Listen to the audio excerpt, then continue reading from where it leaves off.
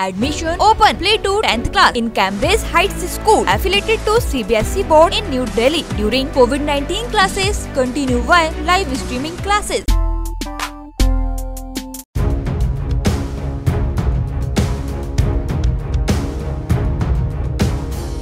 बैतूल में गुरुवार को कांग्रेसियों ने बड़े बिजली बिलों और इसकी सख्ती से की जा रही वसूली का विरोध करते हुए विद्युत विभाग का पुतला फूका इस दौरान प्रदर्शन में शामिल महिला नेत्रियों ने विभाग के अफसरों के सामने चूड़ियां भी फेंकी कांग्रेसियों ने कारगिल चौक से आक्रोश रैली निकाली जिसमे बिजली विभाग की अर्थी कर जमकर नारेबाजी की गयी राम नाम सत्य है बिजली विभाग भ्रष्ट जैसे नारे लगाकर चल रहे कांग्रेसी महाप्रबंधक कार्यालय पहुंचे जहां उन्होंने बढ़े हुए बिजली बिलों को लेकर अपनी नाराजगी जताई कांग्रेसियों ने आरोप लगाया है कि शिवराज सरकार के दबाव में विद्युत विभाग मनमाने बिजली बिल जारी कर रहा है जिनकी वसूली के लिए आमजन और किसानों से वसूली में सख्ती की जा रही है कांग्रेसियों ने चेताया है कि अगर बड़े हुए बिल वापस नहीं लिए गए तो वे बिजली दफ्तर में कर्मचारियों को घुसने नहीं देंगे आज माननीय कमलनाथ जी के आह्वान पर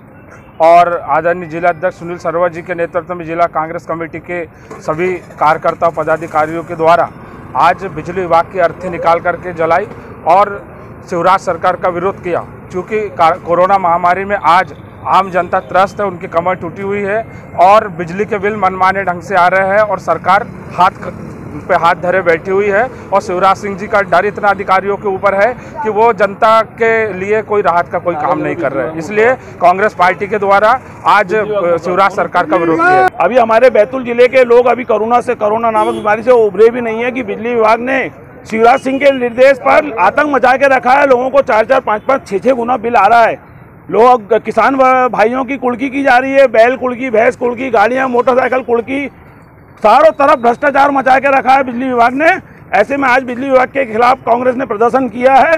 और हम बिजली विभाग को चेताना चाहते हैं आज तो विरोध प्रदर्शन में उनके ऊपर महिलाओं ने चूड़ी फेंकी है अगर आने वाले वक्त में ऐसी आमजनों को परेशान कर दिए करते रहे तो बिजली विभाग के अधिकारियों को जुलूस निकालेगी कांग्रेस इस जिले में अधिकारी क्या आश्वासन देंगे अधिकारी तो मुंह बंद है शिवराज सिंह का इतना भय अधिकारियों पे है कि वो लोग मुंह बंद करके बैठे और जनता के पूरे खिलाफ में काम हो रहा है क्योंकि ये सरकार जो है वो चुनी हुई सरकार नहीं है ये पैसे के बल पर सरकार आई है और जो पैसे इनने विधायक को कांग्रेस के खरीदने में लगाए थे वो वसूली जनता से कर रही है संबंध शिकायत कर रहे थे कुछ बिल ज़्यादा आए हैं उनके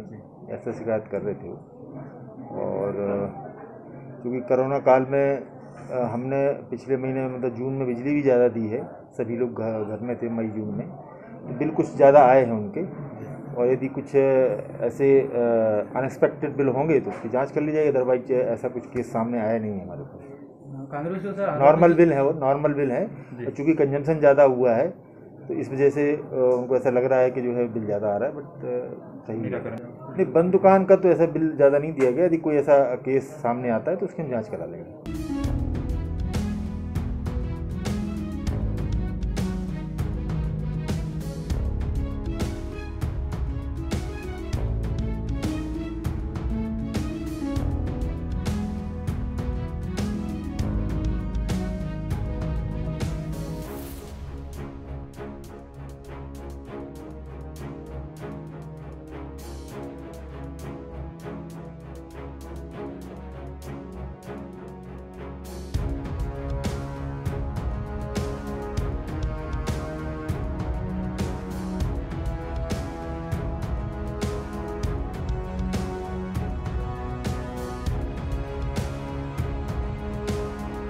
बैतूल से महेश चंदेल सागर टीवी न्यूज़